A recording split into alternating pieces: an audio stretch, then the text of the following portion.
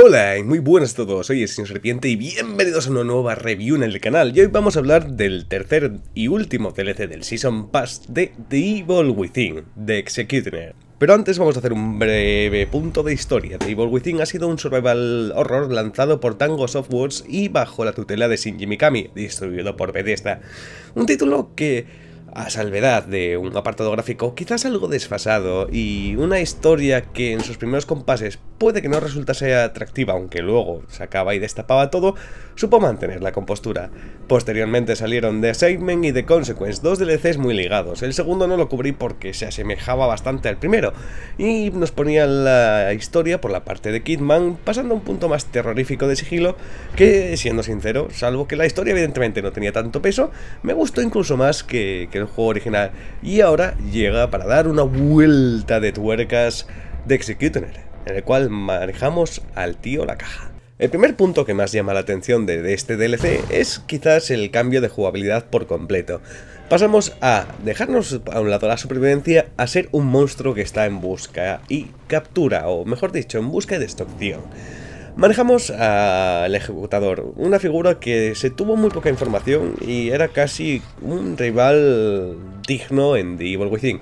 Aunque algunos de los encontrazos que teníamos con él eran quizás un pelín fáciles, pero la verdad que era un enemigo que teníamos muy poca información, no sabíamos muy bien qué pintaba ahí y qué hacía. Pues este DLC viene a resolvernos esa parte de una manera bastante pintoresca.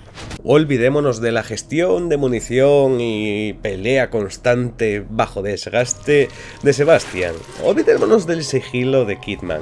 Esta vez vamos a reventar con el mapa y además el juego progresivamente nos irá dando herramientas necesarias para que esto sea una locura. Argumentalmente, The Executioner nos presenta que somos un padre que tiene que entrar en sistema STEM bajo la ayuda de Mobius para poder rescatar a nuestra hija y además cumplir una serie de objetivos. Todo esto pinta bastante bien, aunque siempre hay una sensación bastante interesante contada por muchos documentos, aunque también por el juego, de qué narices está pasando. Tendremos una habilidad para poder ver el fantasma y los recuerdos de nuestra hija, y esto nos servirá como hilo conductor pero asimismo las notas dejadas por Mobius nos ayudarán bastante. Cierto es que hay una sensación constante de si realmente estamos aquí para ayudar a nuestra hija a cumplir la misión o realmente nos están ayudando para corregir los problemas que tiene dentro de Sten. ¿Cómo lo podremos saber? Bueno, pues a eso evidentemente sería un spoil y os dejo que lo juguéis. Gráficamente poco hay que decir, es prácticamente lo mismo que vimos en The Consequence, aunque bastante mejorado. Eh, se nota que desde el primer lanzamiento de The Evil Within hasta esta versión final han trabajado un pelín en el juego y se ve bastante mejor que antaño. Eh, así que no tenemos esa sensación de estar jugando algo ya desfasado, sino que estamos bien, han metido algunas mejoras y filtros que hace que se luzca bastante guay. Además, la cámara está bien posicionada y aunque alguna animación está un poco ñe, pues en general eh, destaca bastante guay, aunque esto quizás haya sido posible teniendo en cuenta que los escenarios son bastante más reducidos, principalmente porque es de manera camuflada es un modo horda. En la jugabilidad, como hemos citado, cambiamos a la primera persona. principalmente tenemos una barra de mejoras, la cual será bajo unas cajas fuertes incrustadas, bastante asquerosas, por cierto, en la pared. Estas nos permitirán upgradear nuestras armas, las cuales se van desbloqueando haciendo zonas. Tenemos la historia principal, que se irá desbloqueando por fases, eh, no hay ningún modo libre, es bastante lineal. Y luego además tendremos una serie de retos añadidos que nos irán para conseguir monedas y aún así mejorarnos aún más. La duración de este DLC es algo más larga que el anterior. De media, los anteriores eran como dos horas, tres horas. Este puede llegar a ser un poco más si vamos a los objetivos secundarios y peleamos. Digamos, por donde yo estuve, eh, fueron casi cuatro horas, pero me lo comí bastante.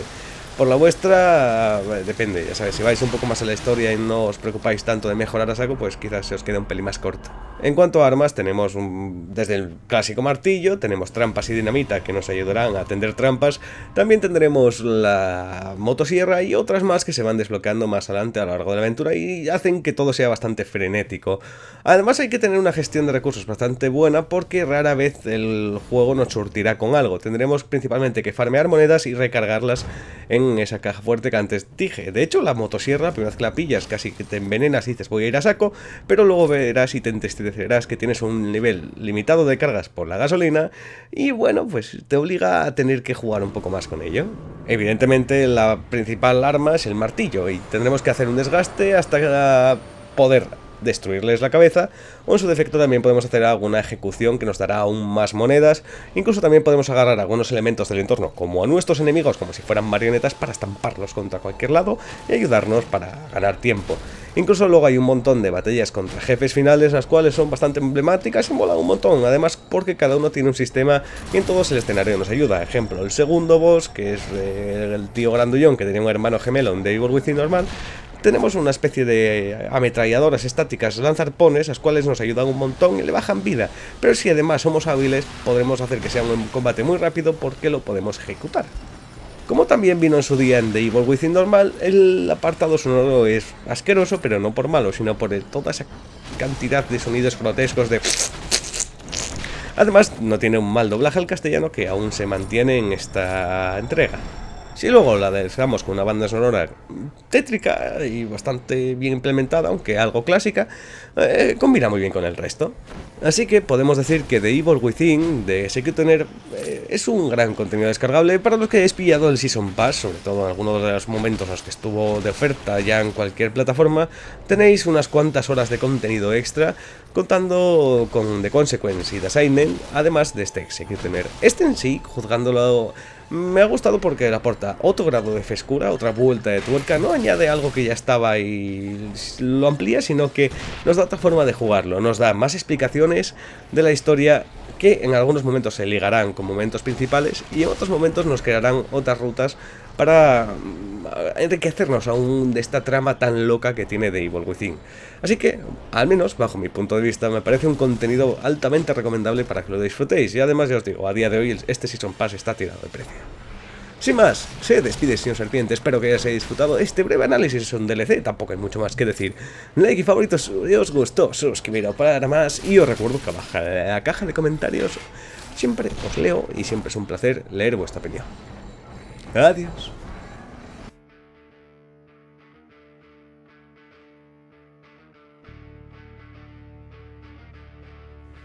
Y recuerda, si quieres tus juegos más baratos y además apoyar el canal, compra en G2A a través del link de la descripción.